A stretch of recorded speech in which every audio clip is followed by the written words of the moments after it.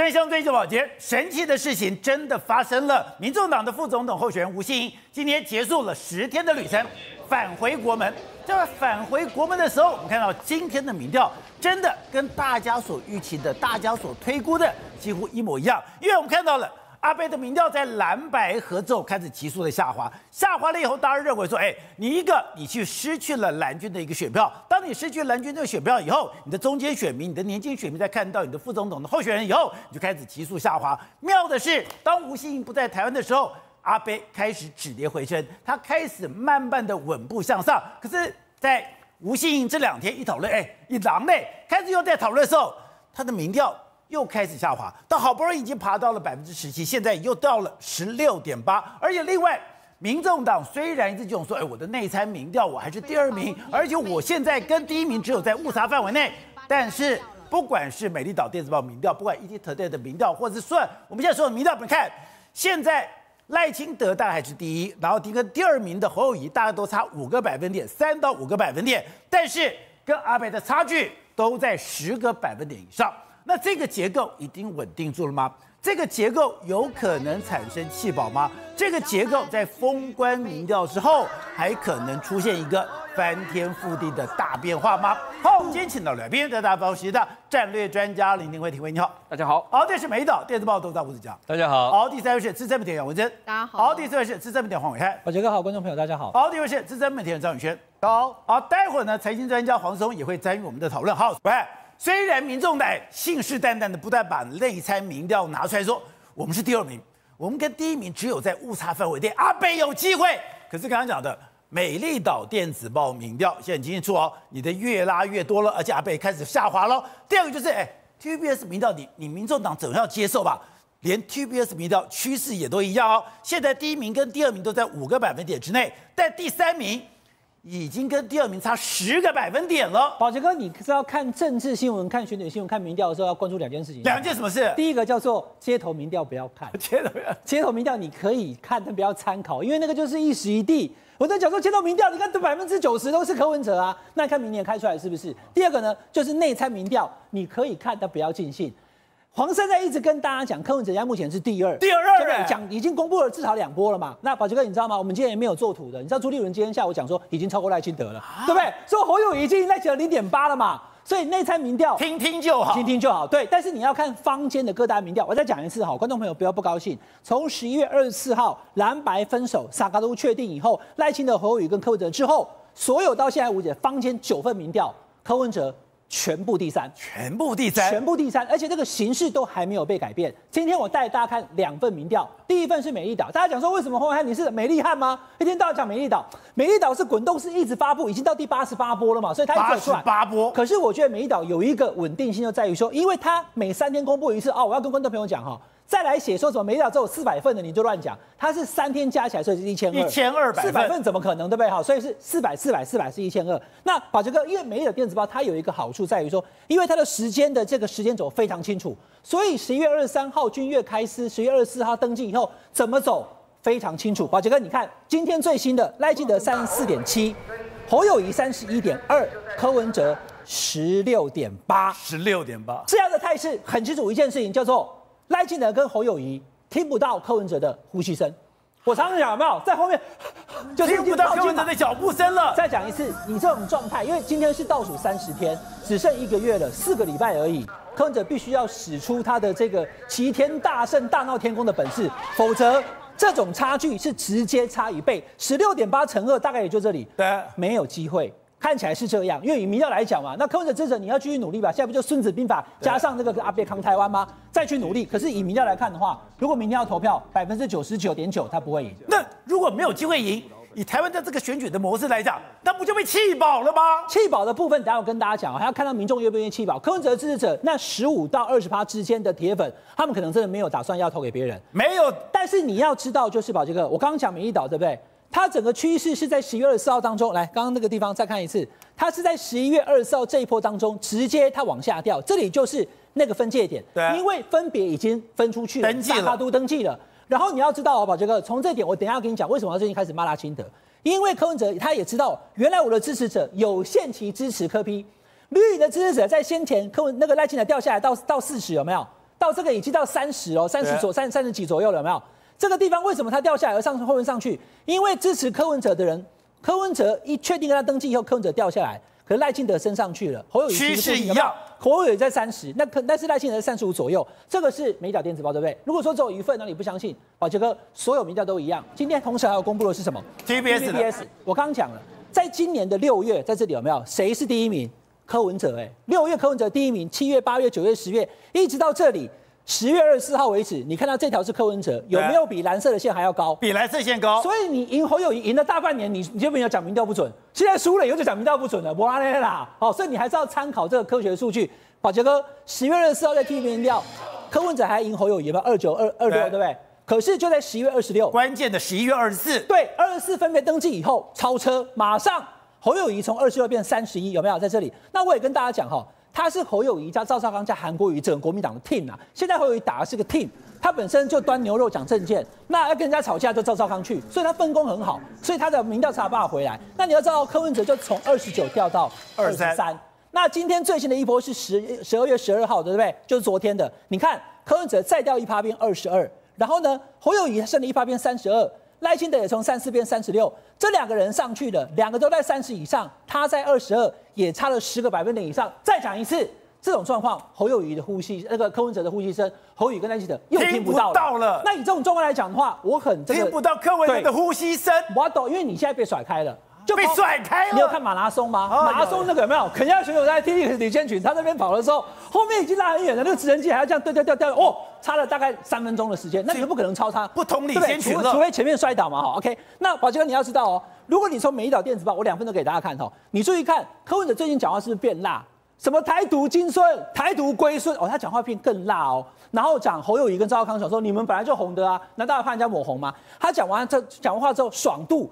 二十到二十九岁本来是三十一点六，对不对？这是第八十七波。你看八十八，它多了一趴哦。二十到二十九，它多了一趴哦。可是宝杰哥，你要知道，这种讲话，年轻人喜欢爽度。可是往上走到了三十到三十九，四十到四十九，唐世代要的是务实的时候，你看他在这个三十到三十九，三十三点三有没有？对，这个是柯文哲，对不对？你看他反而掉了，变成二十九点五，有没有？直接掉了三趴多。对，就你到了这种。上有老下有少，像我这种又要工作又要养爸妈又有小孩子，他就不喜欢这样了。因为那是两面刃。对你骂的太凶，反正不要了。然后再来年轻选票的部分，刚刚讲是美丽岛，这是 TVBS，我会同时给你看哦。二十到二十九岁最年轻这个族群，赖清德多了一趴，可是柯文哲掉了，他掉七趴，掉七趴。年轻族群往下掉，原本你看他这是五十六啊，柯影片这么强，可掉下来。然后呢，三十到三十九。四十一有没有？他他他多了，他多了三趴，然后他维持平盘，所以他最年轻的这个族群他掉了。所以你要知道，宝杰哥。因为柯文哲现在目前是落后的状况，你刚才在问我会不会弃保，我真不敢讲最后会怎么样，因为可能三趴到五趴就已经足够的话，那你就要接近。那现在赖清德跟侯友宜的距离就是大概五趴以内，如果是五趴以内的话，跑掉三趴就可能会影响整个大局。那有很多人讲说，你不用再讲了，即使柯文哲的名调是第三名，我也投科，对吧？好的，投科，我理解。这一群叫做深白，就是柯文哲的铁粉。深白，深白。那你要看哦，从八六八七到八八，这个哈，即使。希望政党轮替，要不要投给最高者？哈，不同的不同意的，本来四十九点九变四十八点六，然后变四十七点一，这什么趋势？三波下来，发现说我还要坚持投给那个不会赢的的那样的人变少，往下降了。这个表示说大家会愿意去投给，这是不问赖清德的哦，支持者哦，就要投给民调比较高的一个人。那所以宝杰哥很清楚了哈，你看一个现在的趋势，就知道为什么这两天柯文哲都在猛骂赖清德，骂多凶啊！哦，你台独龟孙呐，哭什么哭啊？把违建拆掉就好了。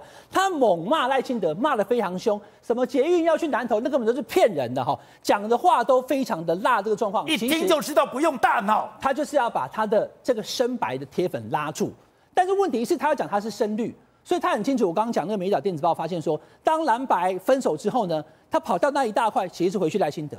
那他今天要破坏赖清德人设，再说，哎，你的那个那个万里老家根本就两千零三年才盖的，黄国昌不是公布一个图吗？对，他也要破坏赖清德的人设。那一旦破坏赖清德人设的话，赖清德也会有犹疑，他可能不投或跑掉的情况之下的时候，其实简单讲吧，杰哥以现在这个态势看起来，柯文哲还可以再努力。这样的民调只有二十几趴，而且离第二名跟第三名都十趴以上。没有机会当选总统，没有机会。那他现在这么凶干嘛嘞？他还有在选不分区立委啊？啊，不分对拼不分区。宝杰哥，上次蔡总统八百一十七万票的总统，可是不分区的政党票只有四百八，中间差了三百三十万。韩国有五百五十二，可是呢，国民党的这场票只有四百七，所以总统选票在以往经验都比政党票还要更高。好，那我们现在柯文哲大概两百五左右，对不对？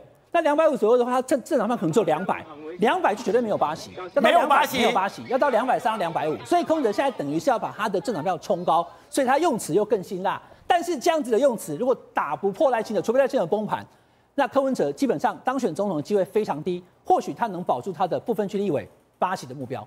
董事长，在所有的沙卡都里面，其实到最后最大的变化就是会进行弃保，因为这个弃保会让整个结构出现改变，会整个影响选举的这个形式。两千年就刚刚讲的，就是什么弃联保贬，弃联保成，所以呢，等于说让这个宋楚瑜黯然的这个所谓的落选。今年，哎。会有这样状况吗？阿贝的十六趴，你刚刚讲的，已经没有人听到他的呼吸声哦。如果听不到他的呼吸声，阿贝会被气吗？阿贝绝对不会被气，他不会被气，不会的。他的，我认为他最低的得票，我个人的假设数据，最差最差最差，他有百分之十二。因为我看的是你，你把如果你把每条电子报看下长期那个线啊，对，它的最低线就是十二，十二，他没有低过十二了，所以他十二是他的铁铁粉。那个铁粉铁盘一定拿到十二百分之十二的票，所以百分之十二是阿北的最最低线。我个人认为，而他现在的打法也不可能被吸干净啊！而且战力，他现在用一个最经济的，用一个穷人的原子弹嘛。什么原子弹？他每天在跟你搞直播啊，他不跑脱啊，对，他没有行程啊，他别人是家里蹲啊。现在变成家里播，家里播不一样啊！家里播还要继续 active，继续活动活动活动啊！然后干什么呢？骂人。同时段跟我一起播，我跟我我我们在播的时候都比我们低很多啊，你知道吗？但是它的议题的破坏力非常大，议题破坏力就是刚刚武汉讲很清楚嘛。你你看到没有？他就把老年人赶走了吧，把中间选民赶走了吧，只剩下年轻的铁粉跟他继续。跟他包围在一起取暖，咬死二十到二十九，那个童文成哦，已经变成他的铁粉了。所以那个铁粉呢，你看不会离开，不会动吗？我讲个例子给你听，这个不是很荒唐吗？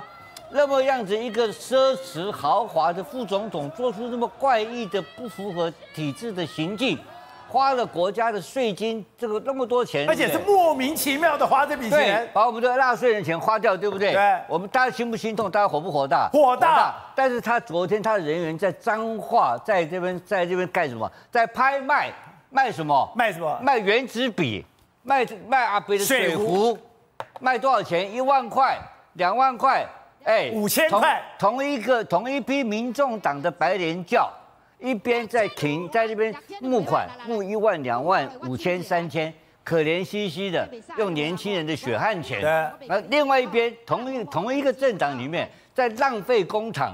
宗教有一个非常重要的原则，我们叫做信德。信德的奥秘，你要相信它是真的，所以你要信阿北这个宗教，你要相信。对，他是相信。这第一点就是同样的出现不同的价值的行为的时候，居然白莲教徒通不通通买单，这个很奇怪。这第一件事情，所以我跟你讲，就算非科不投，一定有相当大的力量，这不是开玩笑的。所以不要小看他。不，他不是，他就很稳定。最后那个铁粉一定存在嘛，对不对？那阿北，在第二点呢？阿北会不会利用这个铁粉最后的力量，创造出台湾的其他？他讲什么？台湾是一个令人惊奇的，对，创造惊奇的岛屿嘛？他最后时间会不会创造一个惊喜出来？会吗？我认为会啊，那怎么不会呢？他不，他怎么会？他废物利用啊！废物利用，他他他这最后剩个，他剩十趴，他干什么？剩十五趴干什么？是，然后让就让黄国昌他们去当立法委员，他他他会对这个他不关心别人的立委的，他只关心他自己个人前途。对，所以我认为他可以左右这个选举的结果，你知道吗？这第二点你要注意哦。所以阿北不是开玩笑，他是一五七耶，他觉得还会上吗？他哎，好，第三个，他不是死马当活马医吗？在后面不是死马，你们都大家都不理解他。我不理解。我跟你讲，今天有黄珊珊拿出他民众党的内参民调公布出来嘛？第二名，第二名，而且差距多少？很少，还差距误差之内嘛。所以阿北会当选总统，知道吗？啊！哎，问题是，他相信他会当选总统。那如果他不相信黄珊珊会，他会让黄珊珊拿拿拿出来公开吗？不会吗？他当然相信才会让你公开嘛。就是阿北自己会相信说外调中痛嘛，爱好打给技能怎样嘛？那他的 T A 是谁？他的那些受众是谁？就他白莲教啊，对不对？白莲教徒就是膜拜啊，无机会无机会。而且我听说了，听说第三点，他们的民众党人在跟他就在一起的时候，全部在讨论他会当选总统的事情。然后更妙的是，阿北他们都相信。不不不不不，接着讲完。阿北离开以后啊，这然后在这，然后大家唉声叹气，哎，无机会啊。两种演法，阿北在的时候，一定会调，一定会调，有信心。阿北离开了，哎，没机会啊，他没办法处理。所以你就看这两面嘛，所以大家在阿北面前表现是非常热情。所以你听我讲，只要选举的人基本上就是非常盲目的赌徒嘛。哦，哎，没有没有这个赌博的心态人不会参加选举。对，那柯文哲现在是确信他会当选，否则他那个路走不下去啊。他用那么狠的字眼去骂了那么多人，那今天他换了。他把他的 KP 这个这个那个骂那个那个这个标章，你说最有意义的，等我看，之前柯文哲哎都是 K KP，当然有人讲是柯 P，有人是 Keep Promise，可是现在他居然换成了中华民国的国旗了。对，为什么换国旗？为什么？因为很简单嘛，他把赖清德咬了一口，咬下了好几五六个百分点，二十到二就二十到三十九岁这个阶段。赖清德被他害得一下掉了五六点了，是被他咬下来的，被他咬下来的。他有能力咬人，他他是真的厉害，你要佩服他嘛。他真的很很会，他的攻击的能量，你不要不要怀疑。没错，他的成事不足败事有余的事实成绩，这个已经国人全球皆知。连我都喜欢听他骂人，对吧？不是，我喜欢听他骂人。对，大家都喜欢，我们都喜欢听嘛，对不对？只是那个讲不出口的话，是他一个人敢讲。他又为什么要换成这个国旗了？他非把。枪口要开始要转向了，对国民党了，打国民党了。他认为蓝粉会打进来嘛，所以他现在他每天在表演，他就是一个网红，天天表演，而且他真的深信他会当选中华民国总统，而非常坚定要走要走下去。那他这个人，那白莲教他的教徒跟他的受众也会跟他一起走下去，然后绕绕到。黄国昌就把他扛在肩膀上，胯下之辱，不是那个伟大啊，那个是那个就是等于有点像耶稣基督背背十字架，那个那个那个，你看那种令人感动的那种奉献的精神，只有民众党的黄国昌才干得出来。为了干不分区啊，把阿贝啊放在头上。好，宇轩，不是一家人，不进一家门。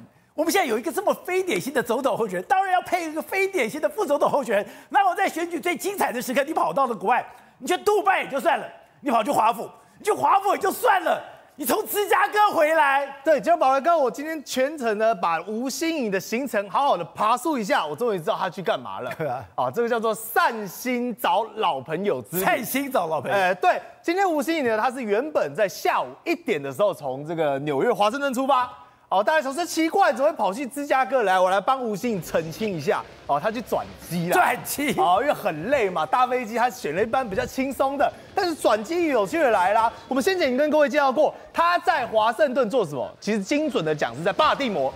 巴尔的摩跑去这个呃约翰这个霍普金斯大学里面找他朋友。他今天也揭露啊，一个姓徐的朋友啊，去看看这些科技公司啊，然后跟一些年轻小朋友啊，要即将要就业的座谈一下，聊聊天呐。哦，不是什么劳动力论坛呐，他们现在把它更正名称叫做座谈会啦。哦，就坐下来跟你聊天，跟你谈。哦，结果他跑到芝加哥去做什么？又来了。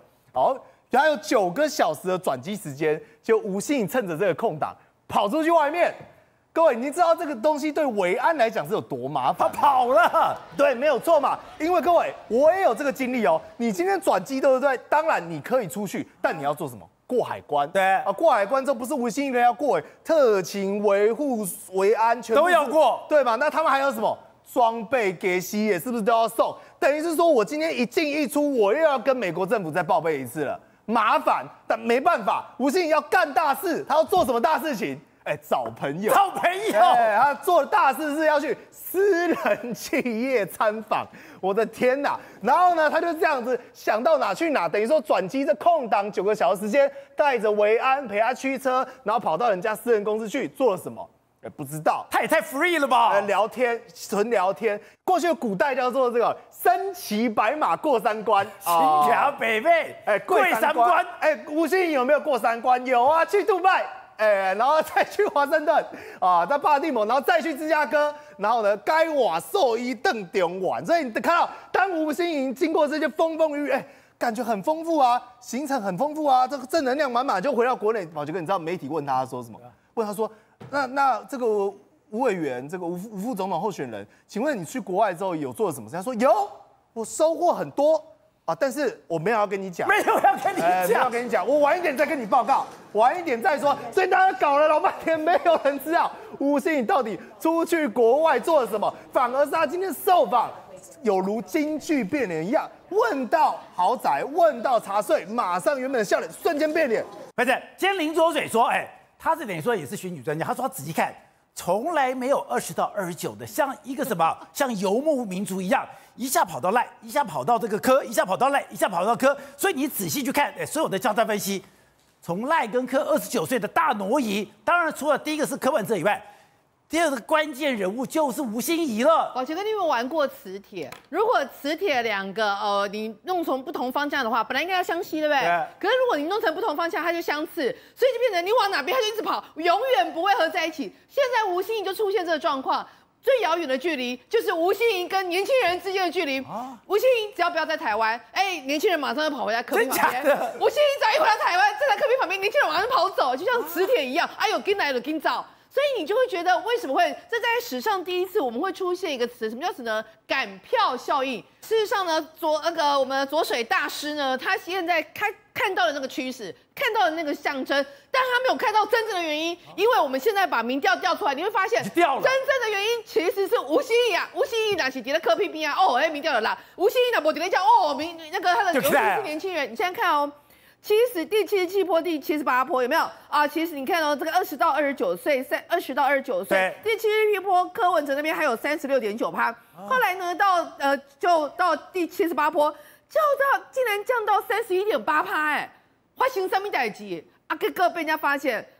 科无登记要搭搭档参选，所以 登记当选，那也就等于说十一月十四号马上从三十六降到三十一了。对，然后呢，再来八呃，再往下就是又到了三十二点九趴。最可怕一件事情，你看旁边到了，甚至从二十到二十九岁，二十八点九趴，二十一点二趴，到第八十二波的时候，竟然降到二十，花型差米代金那也安内嘞。最有意思是往下，包括到第八次波的时候，二十到二十九岁回升了。回升了，回到二十四点四八。最有趣的是第八十五波，哇，一下子吃了大补丸，快四个百分点，二十八趴二十八趴，为什么？因为五星一出国，所以他马上又回来了。等一下，刚才讲到，如果从七十七波之前，哎，阿北都很强，阿北都是三个人最强，不但三个人最强，是遥遥领先，都在三十五、三十六以上，就没有想到一登记跟吴昕一结合了以后，马上从三十六掉到三十一，掉了掉了掉了，你就发现哦。开始越掉越多，掉到二十八、二十一、二十三，就没想到了。到了第八十四波起死回生，从二十四、二十八 开始到哎，后面还到了三十一，又回到三十二。这段时间发生什么事情了？吴欣怡出国了，而且随着吴欣怡距离越遥远，或者出国时间越久，大概没跟你一样 哦。所以这些年轻人就说啊，阿北的人设又回来了。进电视这个，我现在口头补充，进电视也是做一个副手的调查，副手调查里面认为肖美琴有加分是高达六十六点六趴，赵少康有加分的是五十一点六趴，吴欣怡加分的只有二十七点一趴。所以你就知道吴欣盈对于柯文哲不仅没有达到一个加加分的效果，甚至出现一个赶票效应。其实很委屈啊！有人讲你这个有钱人的形象会让柯文哲有一个赶票效应。他讲说，那蔡英文家世也很好啊，选举的时候也不觉得蔡英文的家世背景是对对方要对台湾做出改变要服务的热忱呢。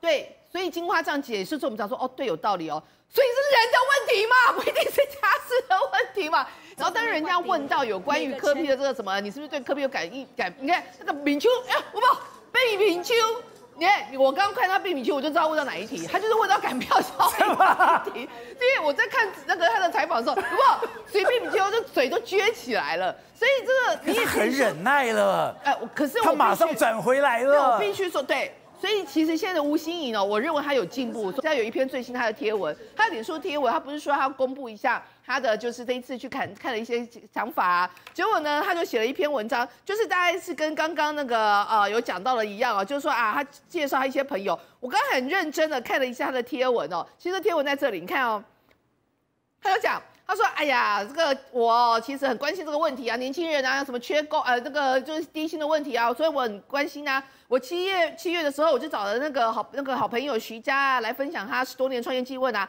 然后就开始，他是美国劳动力转型和技能提升技术部公司的一个执行长。”也是啊，世界经济论坛 WEF 青年领袖就说他成篇文章里面，他写我认识了谁，那个人很厉害；我认识了谁，那个人很厉害。讲了一大堆之后，你看不出任何他对于台湾年轻人要怎么做？怎么做？他讲了汉不浪当，他认识的谁，那些人都很厉害，丰功伟业之后，他最后下一个结论：怎么样改变台湾经济问题？我认为落实学徒制是最佳的方法。学徒制，学徒制啊，你阿伟。到底你整篇文章跟学徒制有什么关系？从七月讲到十一月，十一月讲到我两个月两个礼两个礼拜，我这两个礼拜在十天十天在国外的时候。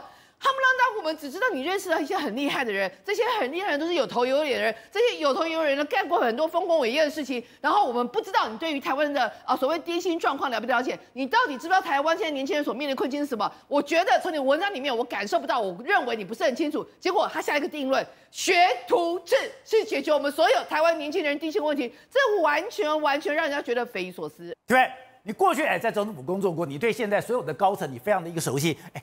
吴欣也很委屈啊，他现在讲说我什么我有钱人的形象，我财团的形象，我会让蔡柯文哲出现赶跑教育。他讲那蔡英文的背景也很好啊。你看典型的这个说法，就是说打乌贼战，又把这个所有的东西好像推到另外一个阵营啊，推到另外一方面，不一样吗？我的问题是别人的问题。蔡英文总统来讲的话，他虽然家世背景不错，但是其实他以前因为拿了学历之后，后来在学校教书，在学校教书之后，结果就参与很多政府的这个委托计划，然后参加很多的这个开出国开会，他有接触到所有的业务之后，然后进入到这个相关领域，然后再替政府服务，所以他以前是李登辉总统跟陈水扁总统积极栽培的对象哦。那吴欣怡呢？哎，吴欣你就是大家的印象什么？你就是星光的公主嘛，你是星光的这个集团里面的这个接班人嘛。那不管你做了什么事情，都是在业界，都在商界。那你在商界来讲的话，你今天跳到去选副总统，好，我们说。副总统来讲的话，一般人民都可以来选，没有问题。但是问题是说，你把这个事情跟蔡英文总统这两个事情把它做对比，这样对吗？你到底对这个政府有什么贡献？对这人民有没有什么贡献？有什么理解？没有嘛？你就是你的集团就是在赚钱的嘛？你为这个社会服务过、贡献过什么东西呢？只是不过现在你因为当过立法委员，你进入到公司里面，现在把你提名到副总统候选人，但是你这样子有过往来讲的话，有服务过群众、服务过人民吗？那你现在什么都不懂。今天记者问到很多很多问题啊。比如说机车这个两段式左转要不要取消？他知道这个车子他也不知道。然后其实很多人说他根本就没有骑过机车，他怎么知道机车要不要两段式左转？所以对他来讲的话，就是说这一次来讲，他出访到杜拜，我以为说他杜拜就马上就回来了，因为照道理讲这很扯吗？我跑到杜拜，又跑到了华府，又跑到芝加哥。这很离谱吗？你知道我们过往来讲，在做国安的维安，就是有关总统、副总统的候选人维安的时候，事实上来讲，从他登记开始，一直到投票选举中间这两个月的左右的时间呢，基本上候选人是尽量不出国就不能出国，而且他来讲，因为出国的维安是非常难做的，因为你知道，出国维安不是比说你在国内维安，国安的维安人员可以带枪啊。你可以吸吸在枪械，你对于那些阻击的人可以马上枪杀掉的。但是问题是什么？你出国不行，就被缴械了嘛？那维安人员缴械之后，你随护又要保护他的安全。到海外之后，第一个我们当然会先透过所谓的国际情报交换，或者是说特警特警之间的这个互助的部分呢，来协助他维安没有错。问题是你们啪啪照，你今天杜拜回来是最单纯的，结果没想到你又跑到美国去。跑到华府去，然后跑到芝加哥，你知道维安多难做，你知道吗？而且说真的，你他坐如果坐商务舱或坐头等舱，随扈要不要跟着他坐商务舱、头等舱？当然要啊！如果要的话，那些钱钱谁买单？当然是国家买单，绝对不是星光集团买单嘛。那你国家买单，国安局这边来买单的话，那是不是编列预算？那这些来讲，一趟回来总要总要。民众党是他们可以出啊。当然也不是说那民众党出，问题是法定的东西，你不能说民众党出你就想出啊。而且说真的，你这些所有的过程来讲的话，假设如果你接有什么任何意外出现，你到底要不要再继续选下去？因为在我们选办法来讲的话。总统如果有死亡，当然就有可能就停止。但是副总统没有规定，没有规定，没有规定。所以副总统死亡了之后怎么办呢？会不会影响整个选举的大选了？所以基本上来讲的话，一般的传统做法都是登记之前出国，但是登记之后出国，这倒是非常罕见的。